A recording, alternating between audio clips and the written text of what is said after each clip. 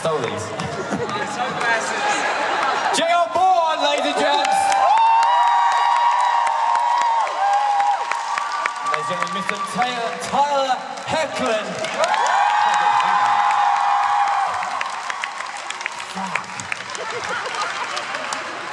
Oh. Oh, Hello, guys. You guys are the troopers that stuck it out all weekend and waited to the very end. Thank you. The best. Appreciate you. Thank you for roasting in the pyramid. We will always remember you.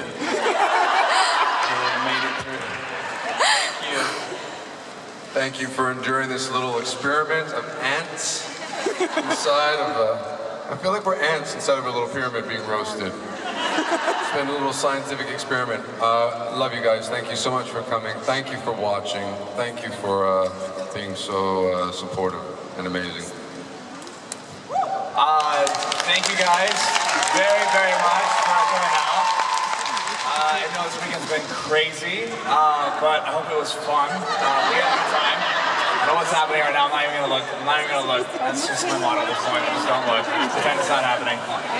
Um, but thank you guys so much for coming out. Hope you had as much fun as we did. Obviously, as these two are having right now. um, we had a great time with you guys, and I hope just stop. Yes.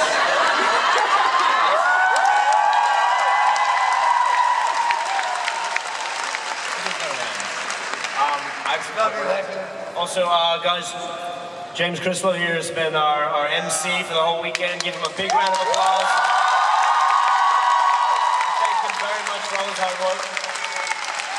Um, I just want to say, I, I said this at a, at a convention before, and it, it just it resonated for some reason with, with some people, and I just I want to say again, thank you guys so much um, for letting us know how much you enjoy the show. I, it's so flattering and so humbling to know that what we do has the kind of impact that you guys tell us that it has, and uh, for us, it's like the most rewarding thing. And just, I hope that you guys all realize that all of you have the same capability and ability to have that impact on other people that are around you. So never take that for granted. Never.